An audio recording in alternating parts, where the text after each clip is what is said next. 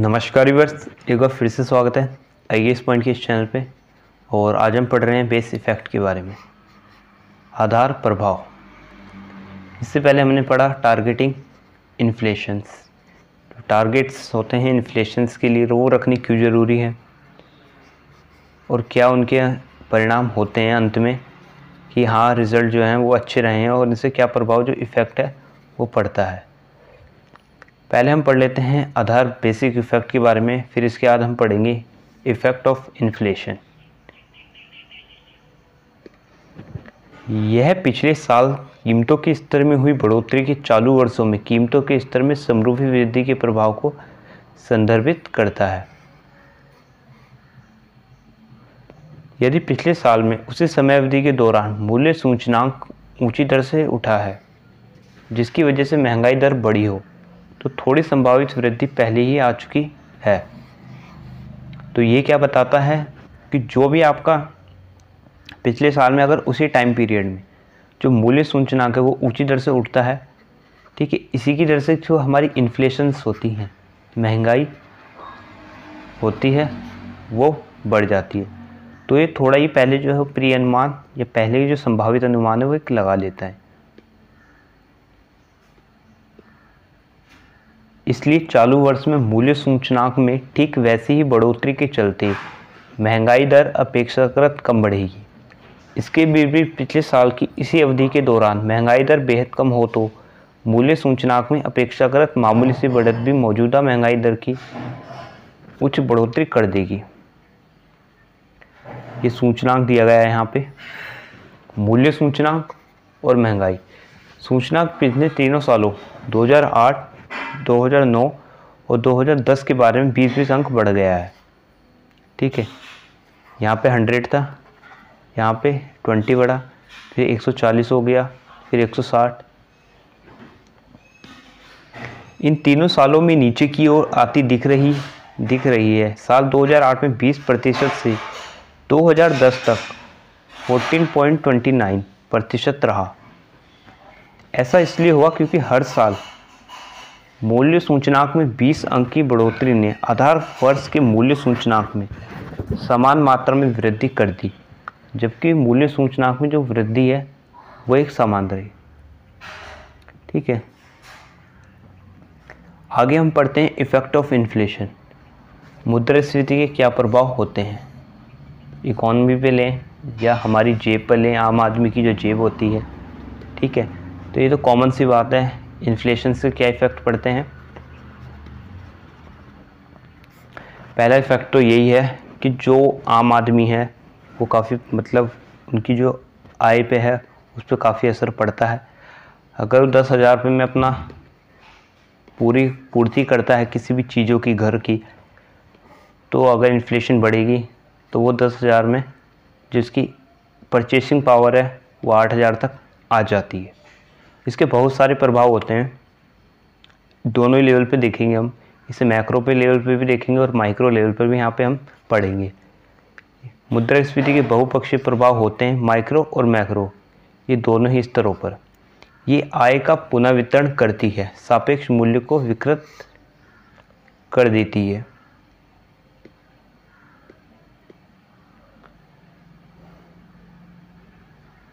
रोज़गार, कर बचत और निवेश नीतियों को स्थिर कर देती है और अंत में अर्थव्यवस्था में मंदी ला सकती है। हम निम्नलिखित आधार पर मुद्रास्फीति के प्रभावों का एक संक्षिप्त विवरण देख सकते हैं। इन्फ्लेशन क्या कर सकता है? रोज़गार, कर, बचत और निवेश नीतियों को स्थिर कर देता है, ठीक है? और ये अर्थव्यवस्था में मंदी भी ला सकता है, जैसा 1929 में हुआ था।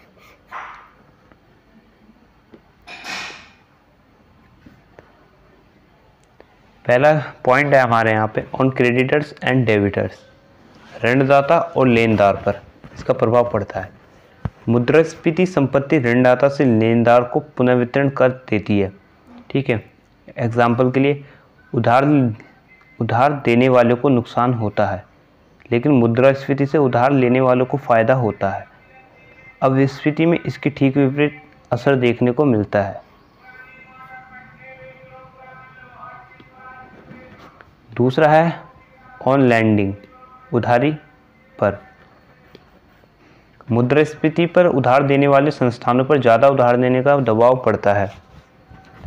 संस्थान ब्याज की मामूली दरों में संशोधन नहीं करते हैं क्योंकि उधार की जो असली लागत है, वो उसी अनुपात में गिर जाती है, जिस अनुपात में उन्हें मुद्रास्फीति यहाँ पे बढ़ती है। जो आपकी ऑन एग्रीगेट डिमांड होती है, कुल मांग जो होती है बढ़ती मुद्रास्फीति कुल मांग के बढ़ने का संकेत देती है। साथ ही अपेक्षाकृत कम आपूर्ति और उपभोक्ताओं के बीच उच्च क्रय शक्ति का संकेत भी देती है। आमतौर पर उच्च मुद्रास्फीति से उत्पादक को ये सुझाव मिलता है कि वो अपना जो उत्पादन है, वो बढ़ाए, क्योंकि इस स्थिति में अर्थव्यवस्था में उच्च मांग के संकेत के तौर पर देखा जाता है। चौथा है हमारा यहाँ पे ऑन इन्वेस्टमेंट निवेश पर प्रभाव पड़ता है। मुद्रास्फीति की वजह से अल्पविधि में, यानी कि शॉर्ट टर्म में अर्थव्यवस्था के निवेश के दो कारणों पर बढ़ता है। निवेश जो है दो कारणों से बढ़ता है। पहला है, उच्च मुद्रास्फीति उच्च मांग का संकेत करती है और कारोबारियों को सुझाव देती है कि वो अपने उत्पादन का विस्तार करें। उच्च मुद्रास्फीति हाई इन्फ्लेशन तभी होगी जब उच्च मांग होगी, ठीक है? तो हाई डिमांड हो जाती है तो आपकी जो है इन्फ्लेशन वो हाई आती है। तो जो भी प्रोडक्ट या प्रोडक्शन करते हैं, जो कारोबारी लोग होते हैं, वो सुझाव देती है कि जो अपना का प्रोडक्शन है, उसे बढ़ाया जाए। दूसरा है, मुद्रास्फीति जितनी ज़्यादा होगी, कर्ज की लागत उतनी यहाँ पे कम होती है।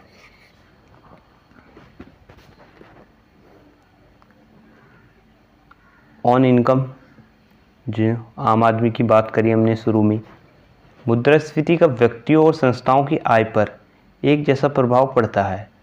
मुद्रास्फीति में बढ़ोतरी से आय की नॉमिनल वैल्यू में थोड़ा इजाफा होता है, जबकि आय की जो वास्तविक वैल्यू है, वो उतनी रहती है। कीमत के स्तर बढ़ने से अल्पविधि में रुपए की जो क्रय शक्ति वो कम हो जाती है, लेकिन दीर्घकाल में आय का जो स्तर है, वो बढ़ जाता है।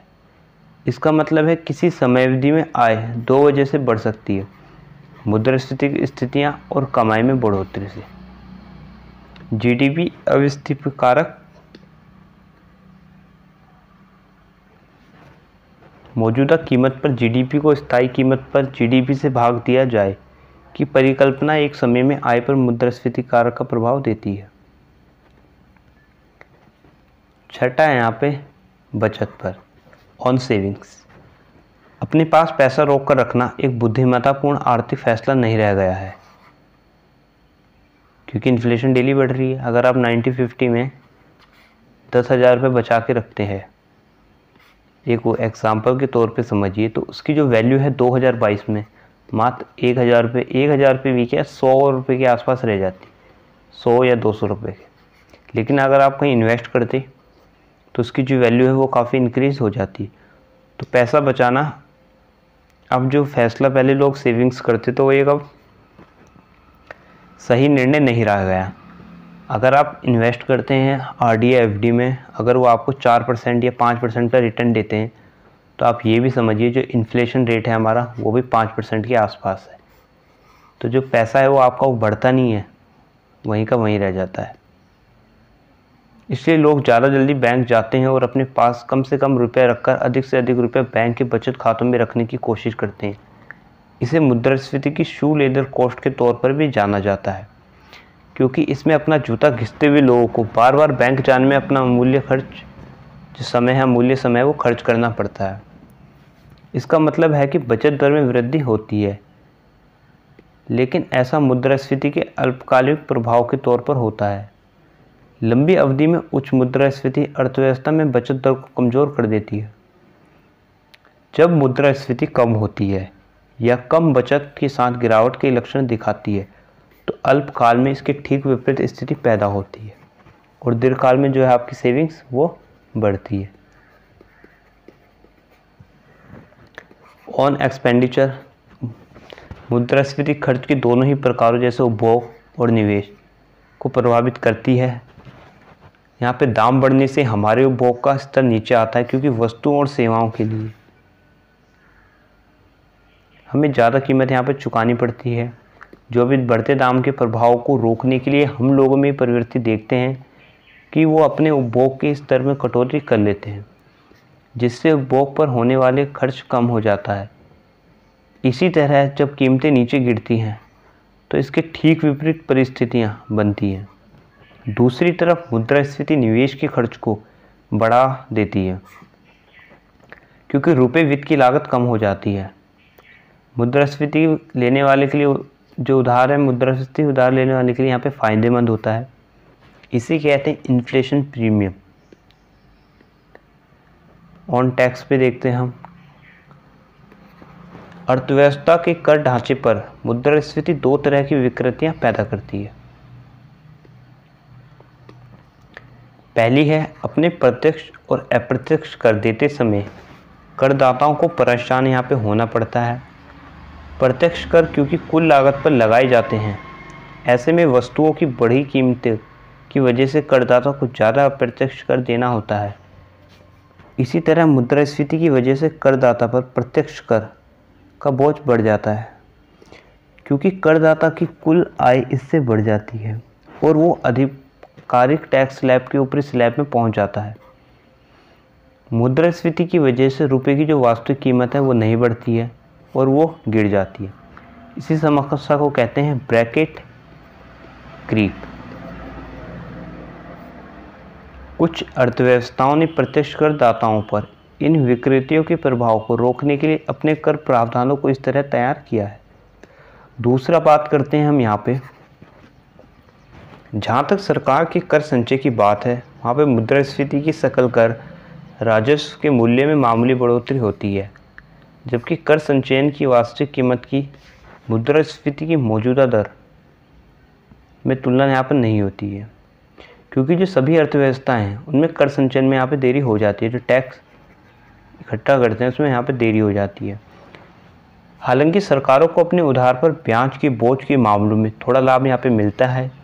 क्योंकि जो इन्फ्लेशन है, उससे उधार लेने वाला फ़ायदे में रहता है। ये फ़ायदा हालाँकि राजकोषीय घाटे के समसामयिक स्तर और कुल राष्ट्रीय कर्ज पर निर्भर करता है। अगर सरकार उच्च राजकोषीय घोटे की, माफ़ कीजिएगा, घाटे की स्थिति में हैं तो मुद्रास्फीति जो है वो एक कर के रूप में काम करती है। और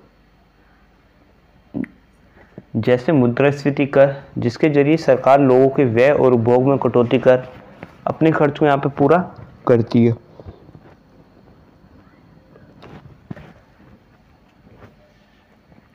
नेक्स्ट पॉइंट आता है यहाँ पे, विनिमय दर पे भी इफ़ेक्ट पड़ते हैं। हर हर मुद्रास्फीति के साथ अर्थव्यवस्था में मुद्रा का जो अवमूल्यन है, वो होता है। जबकि अर्थव्यवस्था लचीली मुद्रा व्यवस्था को अपनाती है। ठीक है?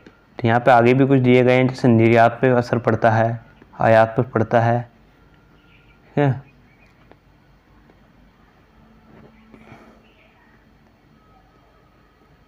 और व्यापार संतुलन और ट्रेड बैलेंस अनएम्प्लॉयमेंट मजदूरी पर, स्वरोजगार पर ऑन इकोनॉमी पर। तो इन सब पर जो इन्फ्लेशंस हैं, उनका प्रभाव पड़ता है। ठीक है? आगे हम बात करते हैं इन्फ्लेशन इन इंडिया के बारे में।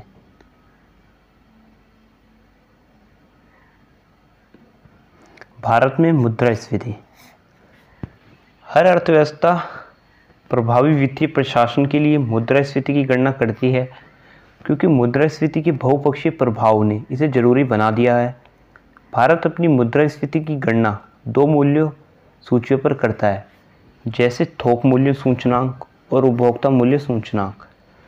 थोक मूल्य सूचनांक मुद्रास्फीति जहाँ मैक्रो लेवल पर नीतियाँ बनाने के लिए इस्तेमाल होती हैं।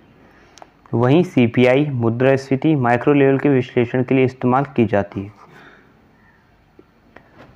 डब्ल्यूपीआई की मुद्रास्फीति अर्थव्यवस्था की मुद्रास्फीति यहाँ पे होती है। दोनों ही जो सूचियाँ हैं वो पॉइंट टू पॉइंट पद्धति का इस्तेमाल करती हैं। अब हम पढ़ते हैं यहाँ पे होलसेल प्राइस इंडेक्स होता क्या है? थोक मूल्य सूचना। इसका जो पहली बार इस्तेमाल किया गया था, वो किया गया था हमारा 10 जनवरी 1942 में। 10 जनवरी 1942 के एक हफ़्ते के लिए बनी थी। इसके लिए 19 अगस्त 1939 इजिकल टू सौ को ख़त्म हो रहे हफ्तों को आधार माना गया था। इसे भारत सरकार के आर्थिक सलाहकार के कार्यालयों की तरफ़ से प्रकाशित किया गया था। स्वतंत्र भारत में भी इसी श्रृंखला का पालन किया गया और इस सूची में अधिक कमेडिटीज को शामिल किया। कमोडिटीज को शामिल किए जाने, उन्हें तार्किक महत्व दिए जाने के संदर्भ में कई बदलाव आने वाले वक्त में हुए। जिनमें थोक मूल्य सूचनांक के लिए आधार वर्ष का पूर्ण लेखन भी शामिल था। अभी तक जो थोक मूल्य सूचनांक है, वो सात बार संशोधित किया चुका है। इसे हम समझते हैं। ये आधार वर्ष दिए गए यहाँ पे, पहला है 1942 से माफ़ कीजिएगा 1952 से तिरपन आधार वर्ष। इसमें 112 वस्तुएँ। दूसरा है 1961 1962 आधार वर्ष 139 वस्तुओं। तो ऐसी ये सात हैं।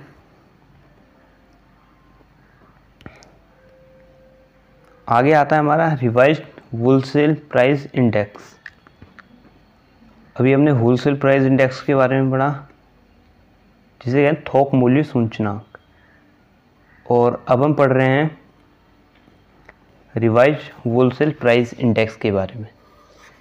इसका जो आधार वर्ष है, वो 2011 और 12 की नई थोक मूल्य नई थोक मूल्य सूचनांक की श्रृंखला, नई श्रृंखला का सरकार द्वारा यहाँ पे घोषणा कर दी गई है।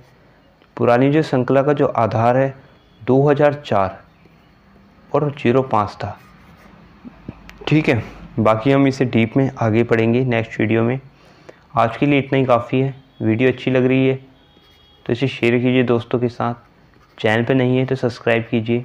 नए हैं तो इसे सब्सक्राइब कीजिए और वीडियो को ज़रूर लाइक कीजिएगा। जल्दी मिलते हैं एक नई वीडियो के साथ। Thank you